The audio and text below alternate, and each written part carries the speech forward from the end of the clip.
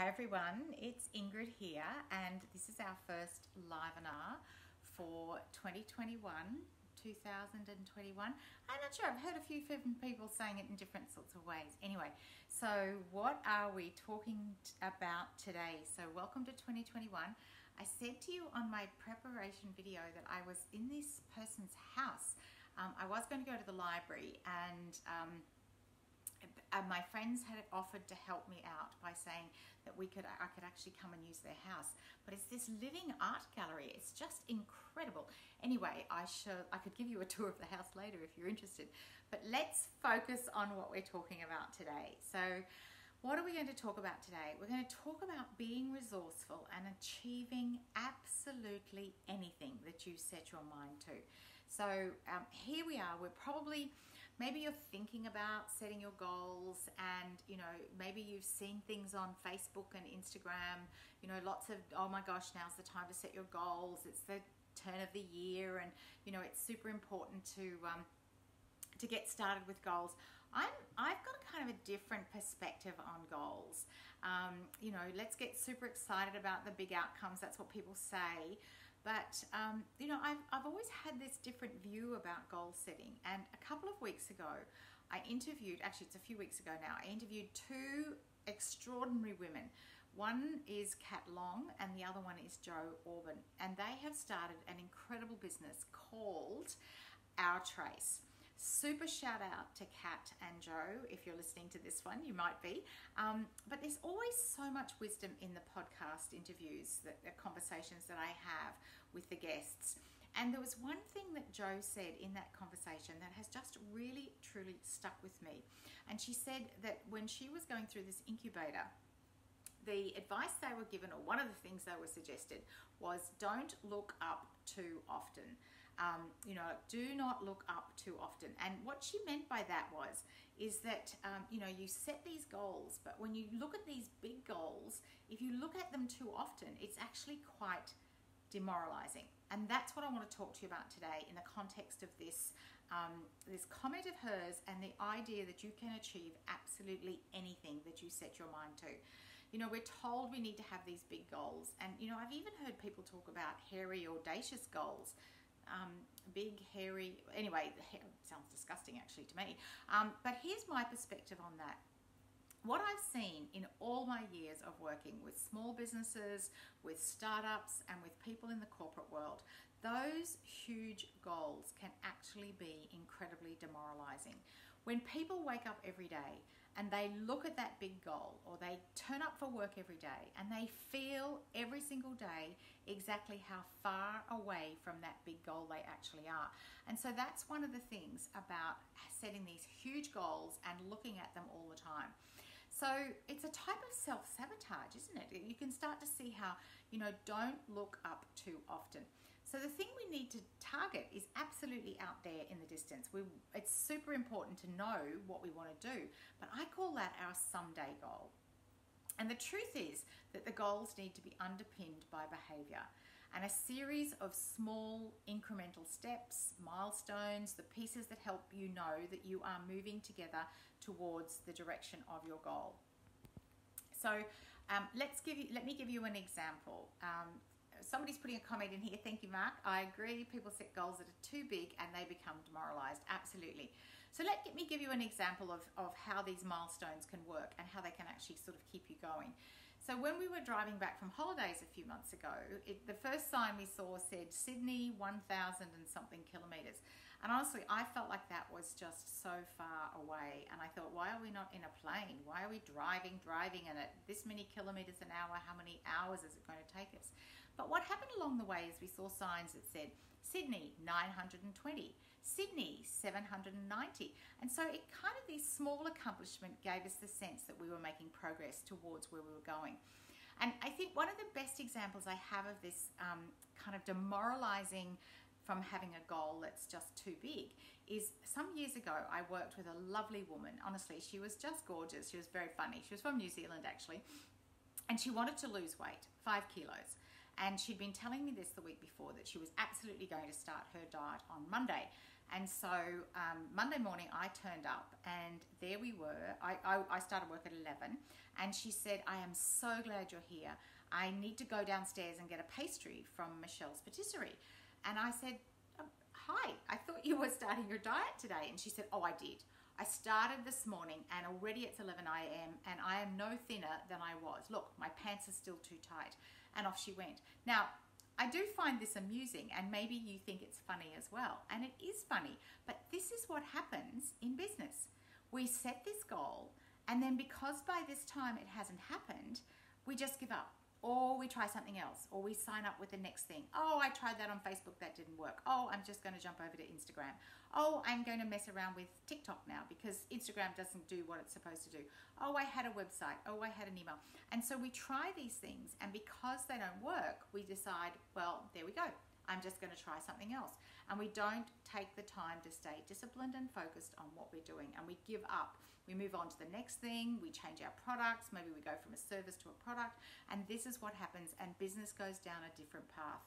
Now, back to the behaviors and underpinning your goal.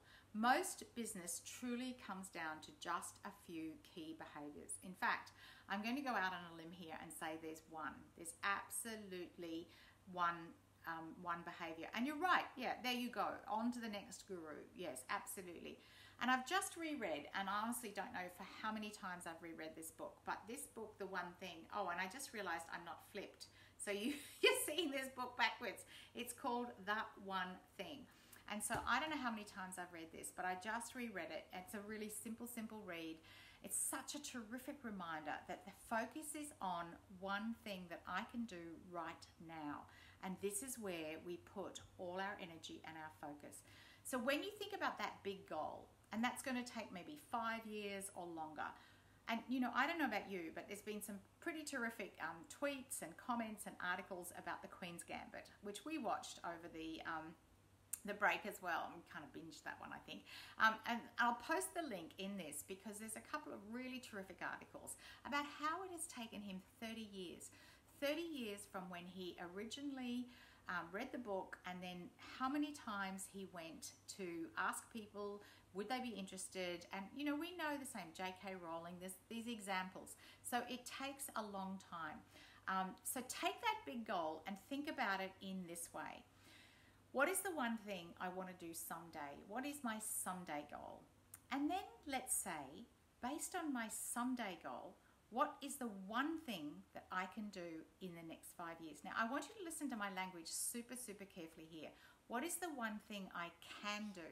not must need let, let's let let's release ourselves from that sort of language let's what's the one thing i can do now then we say to ourselves based on my five year goal what is the one thing i can do in this next year based on my one year goal what is the one thing that i can do in the next month based on my monthly goal what is the one thing that i can do this week based on my weekly goal what is the one thing i can do today now, based on my daily goal, what is the one thing that I can do right now?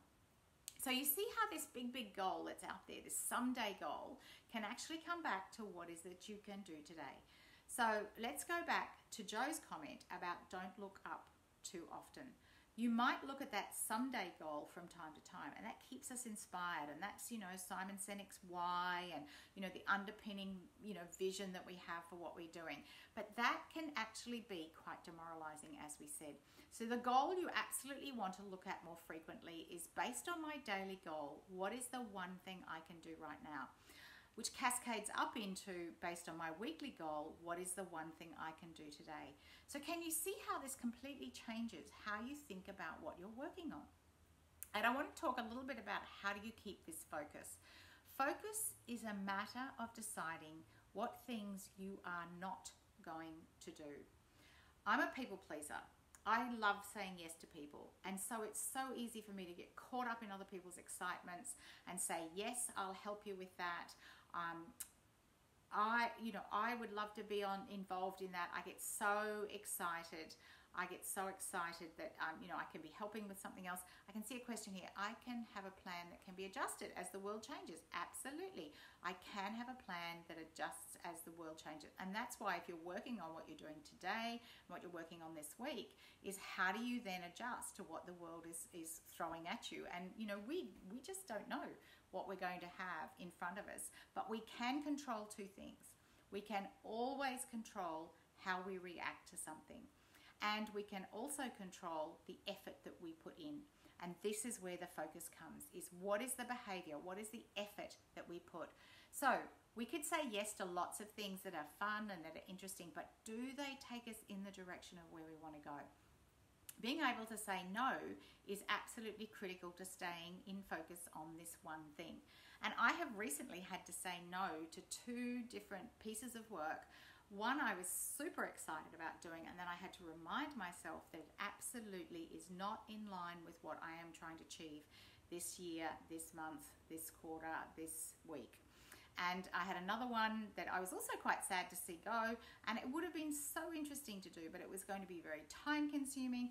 And so I've had to say no in a really polite way and say, Thank you so much for thinking of me. And just right now, you know, here's what I'm working on, and I need to stay focused on that.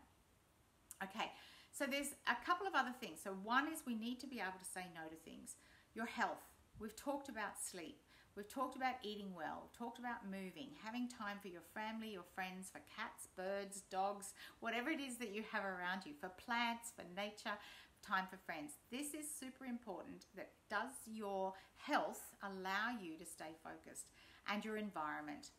Does your environment support you? I know I can spend three or four hours maybe five hours completely focused. And that's why I'm in this house today, is that I absolutely can stay super focused um, on what I'm working on.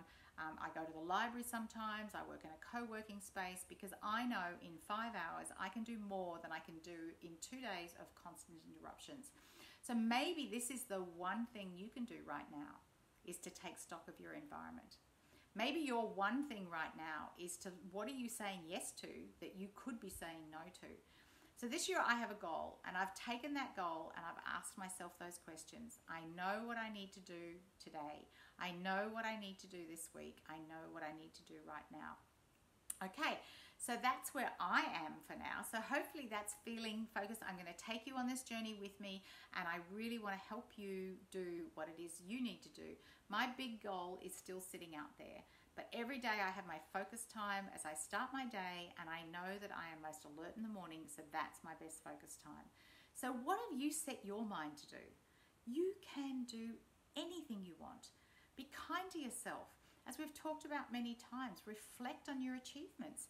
You know, when you get to the end of the day, have a look at what you have achieved. Not what you haven't achieved, but what you have achieved.